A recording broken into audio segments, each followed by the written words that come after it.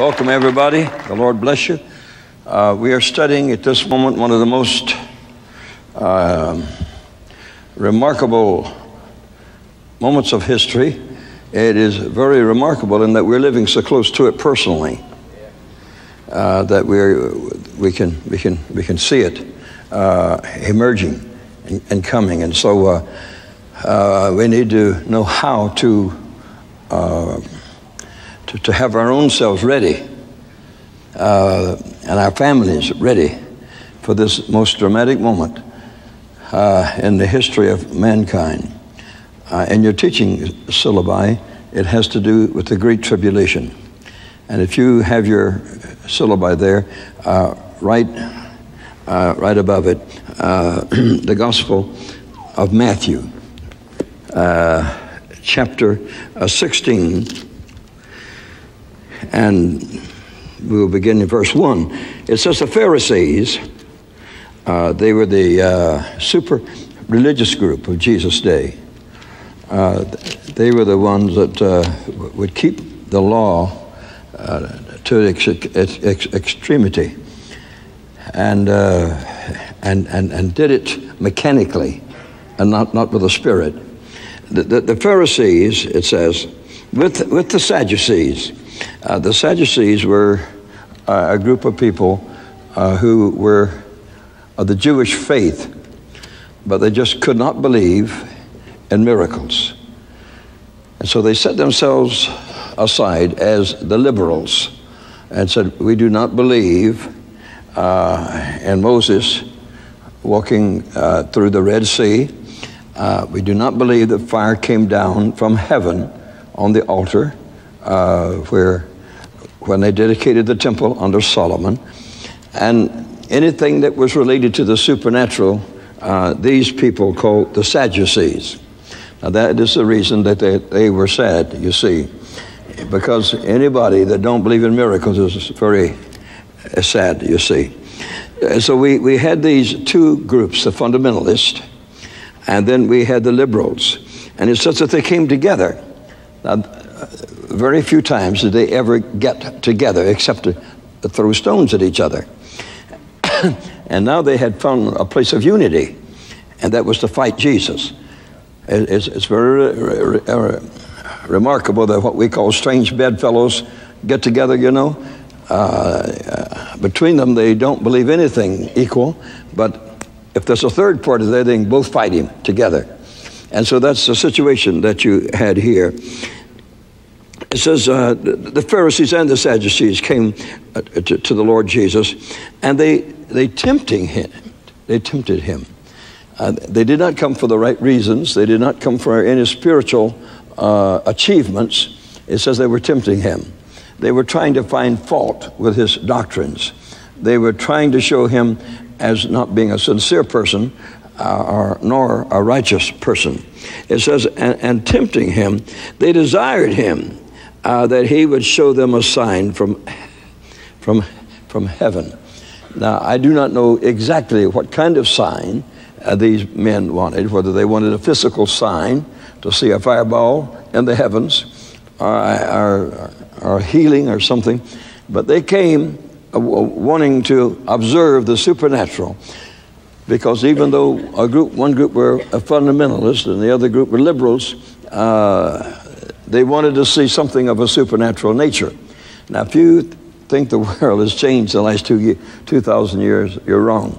Uh, this could be the story of our country today, to where we have groups called fundamentalists and groups called liberals, and they can get together to fight you real easy. Uh, uh, but uh, they, when they're just dealing between themselves, they're, they're completely at odds with each other. Uh, but when it comes to adding you in as another problem, they can both hit you at the same time. And he says that they came and they wanted to see a miracle from the Lord Jesus Christ. And verse 2, it says, Jesus answered and said unto them, oh, When it is evening, ye say, It will be fair weather, for the sky is red. Now, uh, I'm glad to see that in the Bible because when I was a boy, that's the way we uh, talked about the weather. And I thought it was new.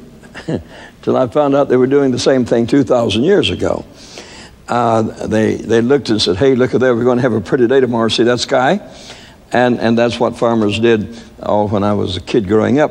Uh, they, were, they were very remarkable watchers of the sky uh, to know what would be happening in the next 24 hours, where they could plant or not, or where they could uh, harvest or not, and, and so forth. Now, now he said, I want to remind you, gentlemen, of something. Evidently, they, they did understand uh, this weather business, you know. And so Jesus was talking to them about something they already understood about. Now he said, Now you say this. So he was laying the, the, the situation straight into their lap by saying, Now this is what you say. Uh, that in the evening time when the sky's all glorious and wonderfully lighted up, you say, Hey, look at there, look at there. Going to have a pretty day tomorrow. Uh, we've got the birth of it coming right now. And, and so he said, No, that's, that, that's what you say. It will be fair weather, the sky is red. But in the morning, you will say, It will be foul weather today, for the sky is red and lowering. And so he said, Now, when you wake up in the morning and you see those awful streaks of the sky, uh, black with red all through them, it says, uh, Hey, you see, there's a storm coming. I can see a storm brewing out there. I can see these signs that there's going to be a bad, a bad day today, uh, weather-wise. Now, he said, seeing that you, that you know that, uh, for the skies are red and lowering, then he says, you, you, you, you hypocrites. Uh, uh it's remarkable that Jesus uh, wasn't one for making friends. Uh, you don't call a man a hypocrite to his face, you know, and, and cause him to hug you and give you a nice little kiss on the cheek or something other. Uh, he said, you're, you're hypocrites. You say, what did he mean by that? He meant that they came there for the wrong reason and the wrong purpose, and that they did not come seeking spiritual enlightenment, uh, that, they, that, they, that they did not come there wanting to draw closer to God, that they were seeking a godly source for an evil purpose. Uh, and there are people like that today. They like to trap everyone that loves God. Any way that they could, they like to trap him so that he could be ineffective uh, to the people. And so the Lord says, now, now listen, you're hypocrites. You didn't come here uh, for the right pur- purpose. Now he says, now you can discern the face of the sky. Uh, he said, now you're not bad at that. I, I, presume they were middle-aged and more.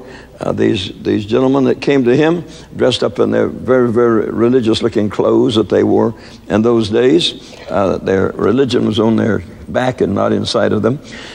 And so uh, he said, now, now you're, you're hypocrites. And I, I, I just like, like to say, you can discern the face of the sky. Now, what he meant here was, you understand natural things. You, yes, you understand nature. Uh, it's, it's, it's to be commended that you do understand nature. You know, whether to travel or not, because you look into the sky. Uh, he, he said, you do understand nature, but, put a circle around the word but, but can you not discern? Can you not discern the signs of the times? Can you not discern? Can you not understand the signs of the times? Uh, when you know of all the things that I have done, can you not see what they mean to you? You know? Now, we live in such a moment right now. I, I, maybe it's worse than that one, I don't know. Uh, uh, until so many things are happening today, but people cannot see the meaning of them spiritually. We live just like they did in Noah's day, just like Jesus said, you know. That as it was in the days of Noah, it shall be in the day of the coming of the Son of Man. They were eating and drinking and marrying, divorcing, and they were doing all the things that they wanted to until the flood came. And it says, and they did not know that had a hundred years of preaching, that had a hundred years of a man screaming at them. The Bible says that Noah was a preacher of righteousness that had a hundred years of that and hadn't learned anything yet. Isn't that amazing? They could watch him build the boat and possibly criticize him for a crack. Said, oh no, said, I don't know where the rain's going to, I don't know where the water's going to come from. And see that crack, you better get that worked on there. And no doubt they were around examining it every day but they didn't know until the flood came and took them all away that this was a spiritual thing. that it wasn't a piece of wood that, that was going to float in the water one day, but this was a spiritual thing. Now, we see so many things in our society right now that, that indicate the dissolution of society. I mean, the destruction of society.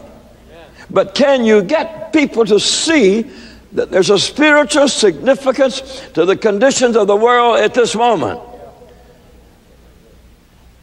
Then you and I will have to say, clean up ourselves first, live what we teach, live the way we believe, not the opposite of it.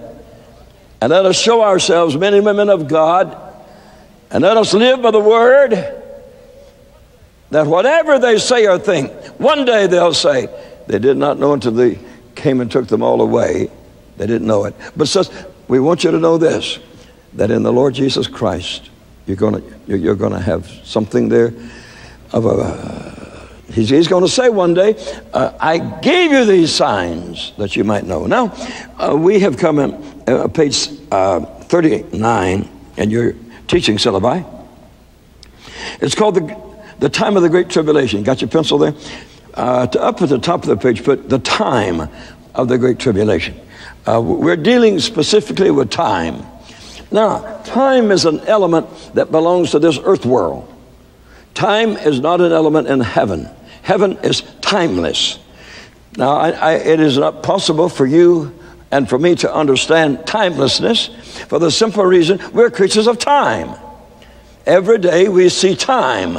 One day older, and, and uh, time has passed, the month is gone. We, we live by what we call time. But in the world to come, there is no time. Yesterday, tomorrow, and today are equal in time because we are immortal creatures. We are everlasting beings, and that we're living like God lived. Whew, I'm ready for that. How about you?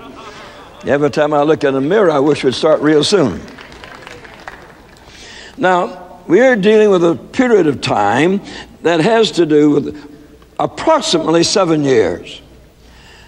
Uh, uh, seven years of putting the thing to, uh, three and a half years of putting it together, and, and then three and a half years of its function and operation called the Great Tribulation. Now, it, possibly it will begin with the rapture of the church. Now, if you are going to listen to men, uh, you're going to get really confused about this last period of time. Uh, now, there's a reason for that. The devil wants the whole of the world to be confused at the most dramatic moment the world has ever known. I think it was the same in every great period of time. In, in, in, in, Moses' day, he had a confused bunch of people. Yeah, they did march out in the desert, got out there and didn't know why they were there. Are you here? They were the same in Jesus' day. Here he was, fulfilling prophecy, and they couldn't get it through there. They couldn't get it through. So it cannot be any better 2,000 years later when we come at the most dramatic moment when the war that began in heaven with Lucifer and has continued down to the last moment before the kingdom shall be turned over to Jesus to rule and reign. But it's got to be a moment of confusion. Just don't be part of the confusion. Always take care of that which you can take care of, and that which you cannot, leave it alone. And don't let some person say, uh, I, I believe this is that. Well, his beliefs of that are very limited to what he's read, what his little mind has thought of. And it might be just a million miles from the absolute truth of God. So if you're going to permit your life, uh, I, Brother John here, uh, Hooper gave me a piece of paper this past week where a young man that I've known him for a number of years, and he's just written a book, and he makes the Muslim religion fill the whole book of Revelation. Uh, I, I, guess he's really got it in for the Muslims. I don't know. Uh, but but he, he, he, everything that's done there, he fits them into it. Now, he don't have any scripture for that. He reads the Bible, and then he says it means this. Well, it may not mean that at all, you see. And when, when, I, when John showed it to me and I handed it back, I said, I don't believe any of that. None of it. I said, I don't think the Muslims have very much to do with the return of the Lord. But I says, I tell you what I do believe. I believe a backslidden church, living in adultery, living in deep sin, living in lies, L I E S. I, I believe they have a lot to do with it. And then a political system. The Roman Empire, if you look at the great statue in the second chapter of Romans, it continued down through the ten toes. That was not a Muslim empire. They were not even born to 750 years after Christ. Are you here? There was no Roman Empire when that thing was born. If it had been, the Roman Empire would have wiped it out. But the Ottoman Empire was coming into great strength, and through the sword, they converted the Ottoman Empire, called the Turkish Empire. And then, with the sword, they went to Jerusalem and destroyed the, the Christian kingdom that had been there 100 years. Then they spread across North Africa and, and a little bit of Southern Europe. And, and so they will be treated like all nations, like America will be treated. They will be treated like England will be treated, you see. They have had an opportunity for the truth. What did they do with the truth? But there are those who are part of this thing. What is the Great Tribulation for? It's for two things, and not three. It is for two things. It is to judge the ungodly nations that have deliberately gone away from God. Are you here? Russia is just receiving her rewards of iniquity. They don't know what tomorrow morning is going to bring. They have nothing settled. They don't know who's going to rule Russia tomorrow and next week. And for all the innocent people they've killed, slaughtered, the preachers they've slaughtered, the underground church that had to run from tree to tree and hide themselves, that world changed, and those high men stay hidden away. You may see pictures of them, but they take those in their offices with a hundred guards around them to preserve their lives. Now, China will go the same way. The Lord told me so, you see. We, we, we're going to see these nations receive their right judgment, their correct judgment. I understand that Mao Zedong slaughtered 30 million uh, Chinese in order to establish communism. That blood is hanging over China right now. That's, that's innocent blood. That's martyr's blood. Now, the Great Tribulation is for two things. Number one, it will judge the nations. And number two, it will judge Israel. It's a very sad thing to know. I was in Israel during one of their wars, and I just happened to meet one of their generals in a concourse. And I shook his hand and I said, That was, thank God it was a short war and thank God that Israel won. And, and uh, I said, God sure performed miracles. He said, Who, who, who'd you say? I said, God helped you. Yeah, I didn't see any of that. Because all I saw was our valiant men destroyed the enemy. Well, there was a man who knew military tactics and military, war, but knew nothing about Jehovah. And they're going to come to know about Jehovah. They're going to get in the corner where there's nowhere to hide.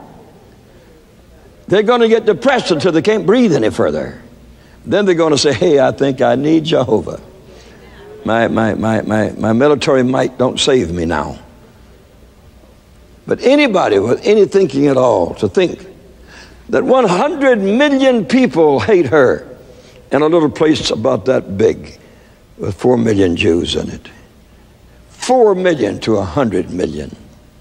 And they still have survived for 50 years. Now, anybody that don't see something different about that, there's something wrong with you thinking about it, you know.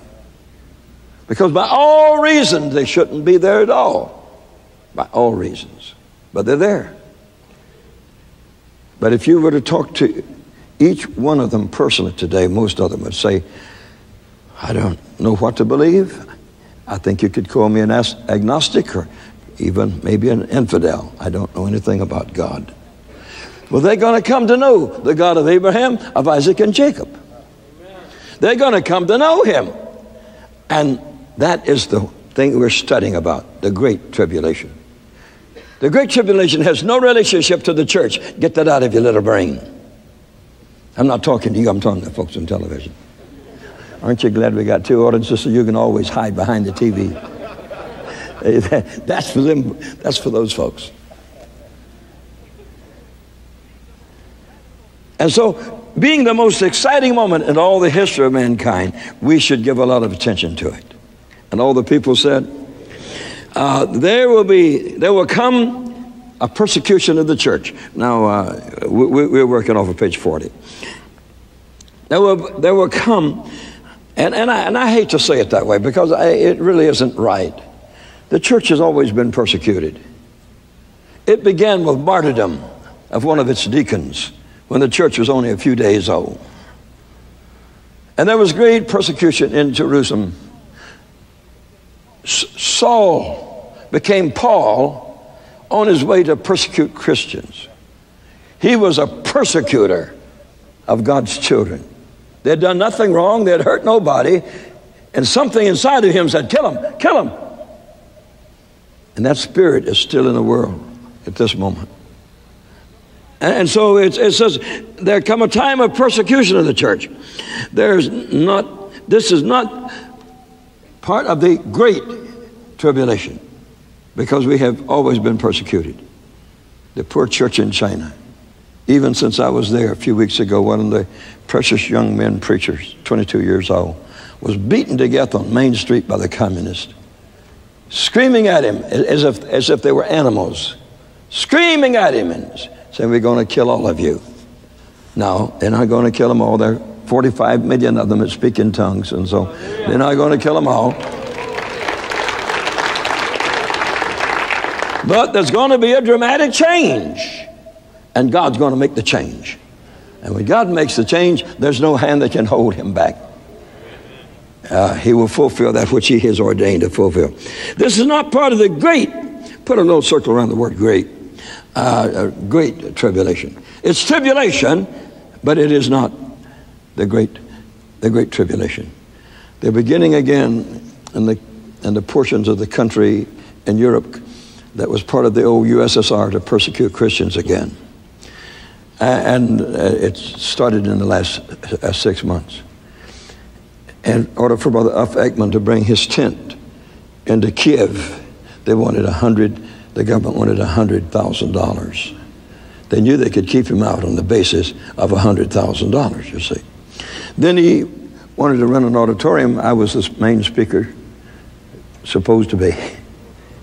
And uh, in order to, to keep him out, they said every hall was already booked. If you went looking in every hall every night, you might have found they weren't booked at all. So the window was open and a little light came in.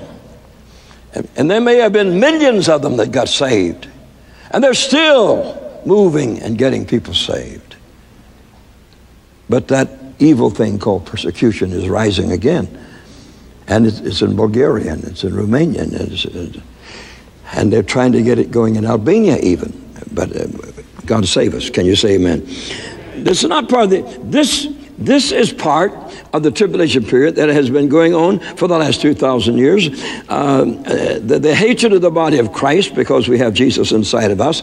It began in the times of the apostles. It continued until this moment. Those who live godly in Christ Jesus shall be persecuted. So stop your grumbling about it when they don't like you where you work. If you're a godly person, they're supposed to. And it's not you, it's the Jesus in you. If you were a drunkard and a whoremonger, they'd just love you to death. And thank you for each bottle of beer you bought them.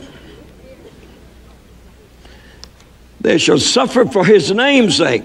There's no doubt about it. The Great Tribulation has to do with the judgment of God poured upon this earth. It does not have to do with the time of tribulation which the church has been in for the last 2,000 years.